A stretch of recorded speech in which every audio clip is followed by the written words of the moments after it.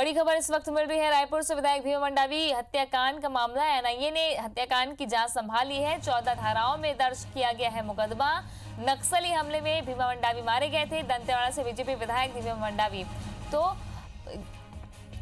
11 अप्रैल को पहले चरण का चुनाव बस्तर में था, जिसके ठीक दो दिन पहले, यानी 9 अप्रैल को भीमा मंडावी को नक्सलियों ने टारगेट किया और भीमा मंडावी को मौत के घाट उतार दिया था। श्यामगिरी का वो इलाका, जहाँ भीमा मंडावी की कार पर आईडी ब्लास्ट किया गया और इस आईडी ब्लास्ट के बाद भीमा मंडावी की मौत हो गई थी। अब इस पूरे मामले में बीजेपी ने जिस तरह से मोर्चा खोला था, एनआईए ने इस पूरे मामले की जाँच संभाली है। एनआईए इस पूरे मामले में जाँच करेगा। नक्सली हमले में भीमा मंडावी मारे गए थे। दंतेवाड़ा से इकलौते, बस्तर के इकलौते बीजेपी विधायक थे भीमा मंडावी, जिन्होंने जीत दर्ज की थी। बस्तर की 12 सीटों में से 11 सीटें कांग्रेस के पास, लेकिन एकलौते वो बीजेपी विधायक थे जिनकी नक्सलियों ने हत्या कर दी। तहसीन जैदी जुड़ गए हैं। तहसीन, बीजेपी भी लगातार बात कर रही थी, लेकिन अब इस मामले में एनआईए ने जाँच संभाली है। किस दिशा में पूरी जाँच जाएगी फ़िलहाल? देखिए, बताना चाहूँगा कि जो कुआकोंडा में 10 अप्रैल को भाजपा विधायक भीमा मंडावी सहित चार पुलिसकर्मी जवानों की हत्या की गई थी आईडी ब्लास्ट के बाद।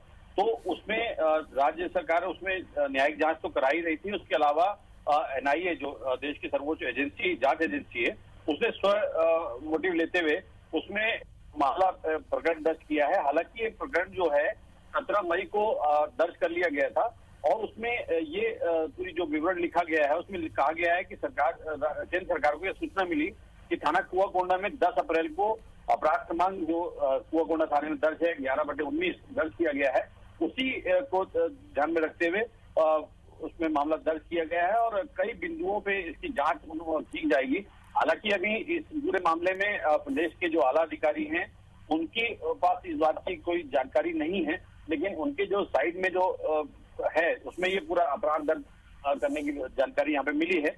और इसमें जो पूरी, पूरे मामले की जो जाँच है, वो एनआईए को केंद्रीय गृह मंत्रालय के सीटीसीआर डिवीज़न, यानी आतंकवाद रोधी एवं कट्टरवाद रोधी प्रभाग इसमें करेगा और उसको द्वारा जो 16 मई को उसको एक पत्र एनआईए को दिया गया था उसमें कहा गया था निर्देशित किया गया था कि इस पूरे मामले की जाँच जो है वो विशेष तौर पे की जाए। अब हालाँकि यहाँ पे भी एनआईए का स्थानीय ऑफ़िस है तो अब ये देखने वाली बात होगी कि दिल्ली से कोई स्पेशल टीम आती है या राजधानी रायपुर में जो इनका ऑफ़िस है यहाँ के अधिकारी करते हैं। निश्चित तौर पे ये बड़ा एक फैसला यहाँ पे सामने आया है। जी। चलिए, बहुत बहुत शुक्रिया तहसीन जानकारी के लिए। तो बड़ा फैसला है, विधायक भीमंडवी मंडावी की हत्याकांड की जाँच, अब एनआईए करेगा।